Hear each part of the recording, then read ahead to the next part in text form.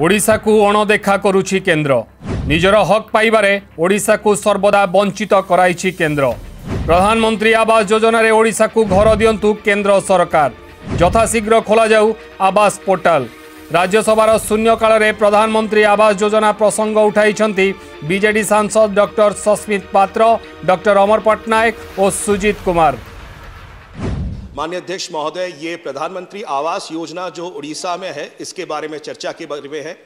माननीय, आपको जान के आश्चर्य होगा कि पिछले तीन सालों में माननीय मुख्यमंत्री श्री नवीन पटनायक जी ने तीन बार चिट्ठियाँ लिखी केंद्र सरकार को और आग्रह किया कि लगभग छह लाख घर प्रधानमंत्री आवास योजना में जुड़ने चाहिए आवास पोर्टल के ओपन होने से। और ये छह लाख घर जो है, मान्यवर ये ज़्यादातर आदिवासी भाई बहनों का है, जो कि शेड्यूल्ड एरियाज़ में रहते हैं। वेस्टर्न उड़ीसा साउथ उड़ीसा और केबी के जिलों से हैं। मगर तीन साल में आज तक जो है, आवास पोर्टल खोला नहीं गया प्रधानमंत्री आवास योजना का। दुख की बात यह है, मान्यवर, कि इसी साल जनवरी तेरह को कर्नाटक के लिए आवास पोर्टल खोला गया, जिससे कि वो लोग 25 लाख घरों को अब जोड़ सकते हैं।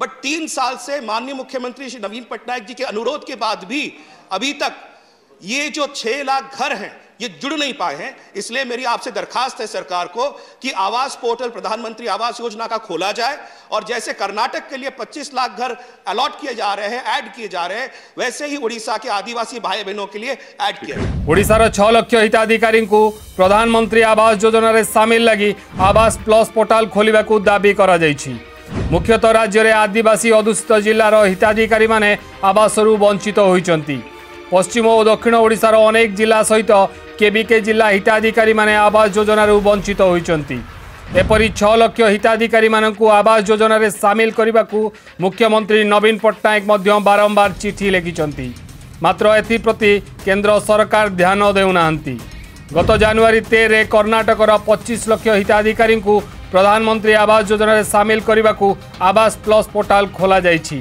ମାତ୍ର ଆଜି ବି ଓଡ଼ିଶାର ଅଧିକାଂଶ ଆଦିବାସୀ ପରିବାର ଏହି ଆବାସ ଯୋଜନାରୁ ବଞ୍ଚିତ ଅଛନ୍ତି ତେଣୁ ଓଡ଼ିଶାର ଆଦିବାସୀଙ୍କ ସ୍ୱାର୍ଥକୁ ଦୃଷ୍ଟିରେ ରଖି ଖୁବ୍ ଶୀଘ୍ର ଆବାସ ପ୍ଲସ୍ ପୋର୍ଟାଲ ଖୋଲିବାକୁ ଦାବି କରାଯାଇଛି ଅନ୍ୟପଟେ ଆଜି ରାଜ୍ୟସଭାରେ ରାଷ୍ଟ୍ରପତିଙ୍କ ଅଭିଭାଷଣର ଧନ୍ୟବାଦ ଅର୍ପଣ ଅବସରରେ ଡକ୍ଟର ସସ୍ମିତ ପାତ୍ର ଆବାସ ପ୍ରସଙ୍ଗ ଉଠାଇବା ସହିତ ଓଡ଼ିଶାରୁ ଉଷୁନା ଚାଉଳ ଉଠାଇବା ଦାବି ଦୋହରାଇଛନ୍ତି पैराग्राफ 22 पे जो लिखा गया है मैं उस पर अब आना चाहता हूं पैराग्राफ 22 में कहा गया मान्यवर empowerment of farmers and rural economy जो किसान हैं, उनको सशक्त किया गया है। अच्छी बात है। और सरकार ने रिकॉर्ड प्रोडक्ट प्रोक्योरमेंट किया टू मैच रिकॉर्ड प्रोडक्शन यह भी अच्छी बात है। रिकॉर्ड प्रोडक्शन हुआ, देश में किसानों ने किया, और रिकॉर्ड प्रोक्योरमेंट केंद्र सरकार ने किया। अच्छी बात है। 900 लाख मैट्रिक टन आपने प्रोक्योरमेंट किया। एक करोड़ एक करोड़ से ज़्यादा किसानों को आपने फ़ायदा दिया। यह अच्छी बात है। तो मान्यवर, अगर 900 मैट्रिक मैट्रिक टन अगर आप ले रहे हैं 900 लाख मेट्रिक टन अगर आप प्रोक्योरमेंट कर रहे हैं तो उड़ीसा का 22 lakh metric ton parboiled rice आप क्यों प्रोक्योरमेंट करने से मना कर रहे हैं? 900 लाख मेट्रिक टन आप ले सकते हैं।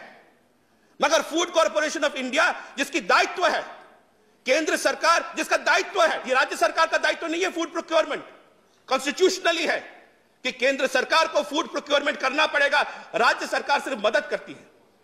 मगर केंद्र सरकार अपने हाथ पीछे खड़ी कर रही है। फ़ूड कॉर्पोरेशन ऑफ़ इंडिया कहता है कि हम फ़ूड प्रोक्योरमेंट नहीं करेंगे। आपका जो प्रोक्योरमेंट है पार बॉइल्ड राइस का, उसुना चावड़ा बोलते हैं उड़िया में हम उसको। वो उसुना चावड़ों को हम प्रोक्योरमेंट नहीं करेंगे। बावन लाख मेट्रिक टन इस बार जो है प्रोक्योरमेंट की टारगेट है। तीस लाख हमारा कंजम्पशन है। बाईस लाख मेट्रिक टन अभी चावल और प्रोक्योरमेंट होना बाकी है। पिछले साल इस वक्त तक चार लाख मेट्रिक टन प्रोक्योरमेंट हो चुका था। अभी केवल बारह हजार मेट्रिक टन प्रोक्योरमेंट हुआ है यह सोच क्यों अगर सारे राज्य एक समान है सारे विषय एक समान है सारे लोग एक समान है तो कर्नाटक की एक सोच उड़ीसा के लिए एक सोच एक करोड़ किसानों के लिए एक सोच उड़ीसा के किसानों के लिए अलग सोच ये पातरंतर नीति क्यों है ଓଡ଼ିଶାରୁ ଉଷୁନା ଚାଉଳ ଉଠାଇବାକୁ କେନ୍ଦ୍ର ସରକାର ହାତ ବାନ୍ଧି ଦେଇଥିବା ବେଳେ ତୁରନ୍ତ ଏଫ୍ସିଆଇ ମାଧ୍ୟମରେ ରାଜ୍ୟରୁ ଉଷୁନା ଚାଉଳ ଉଠାଇବାକୁ କେନ୍ଦ୍ର ସରକାର ତତ୍ପରତା ଦେଖାଇବାକୁ ଦାବି କରାଯାଇଛି ବ୍ୟୁରୋ ରିପୋର୍ଟ ନ୍ୟୁଜ୍ ଆଡ୍ଡା ଓଡ଼ିଶା